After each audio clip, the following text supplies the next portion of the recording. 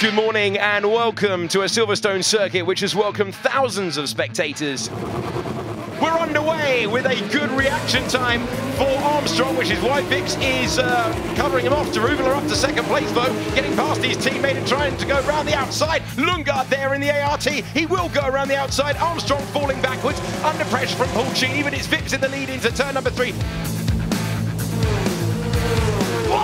So close. Can he hang on in there? Lundgaard trying to keep it in. And Daruvala says, absolutely no way. That will give Pulcini the position, and he is up to third. Lundgaard risked it, but he's fallen back to fourth.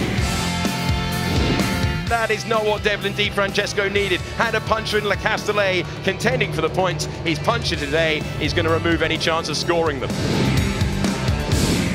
That's Kari. So a problem for one Trident, now a problem for a second one. He was running in 10th position. Now we're going to see why. This was Sargeant trying to take the position away, damaging his front wing and sending Kari into a spin. He's lucky he didn't go back on the racing line there.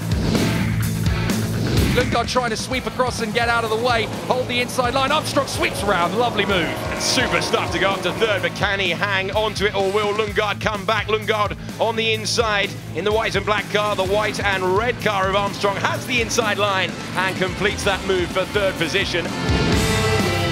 Oh, and it's uh, it's our new joiner for this race weekend, Federico Malvestiti the uh, Formula 4 driver making the step up to Formula 3 for this weekend.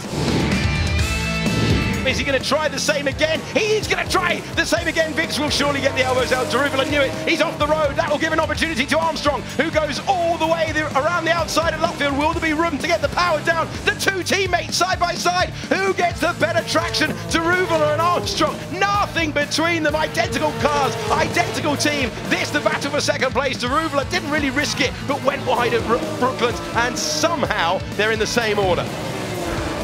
Oh, there's Big Sean. That is a big crash. That is a big accident. I think it's Raoul Hyman who is in the barriers. And we're just going to see the aftermath of it.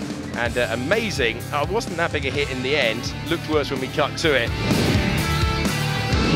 on the charge. Shwartzman at the top of your picture, trying to take the position away from Lundgaard. And we've said he's been lackluster. Well, he's delivered up to fifth position. He's always been in the top five this year, and that run looks set to continue.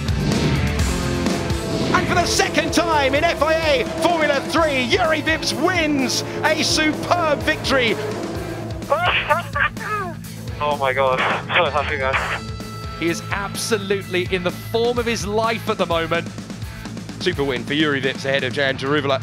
And then Marcus Armstrong going to the podium for the third time this year. Good morning and welcome to the earliest race start of the season. Sunday begins with FIA Formula 3 and we've arrived at the conclusion of round four. We look to the lights. We've got three of them.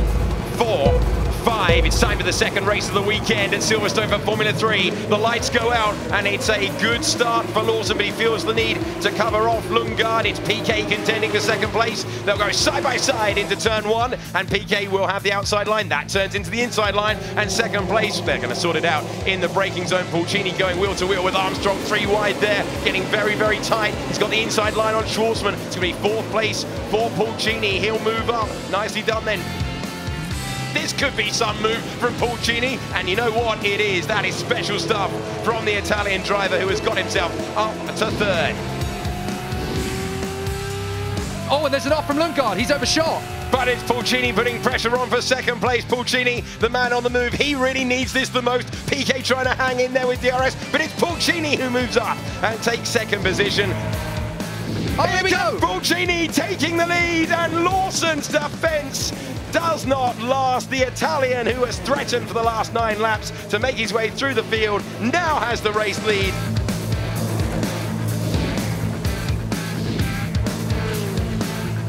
Now Vips has got an opportunity round the outside of Beckmann. Oh, he's going to overshoot. That's terribly, terribly oh, wrong. Into the gravel. Into the... Trying to go past the Trident. I think he's going to be able to do so. So that's third place at the moment. Can he attack for second? Thinking about it. Up to third goes Shwartzman with a tidy pass.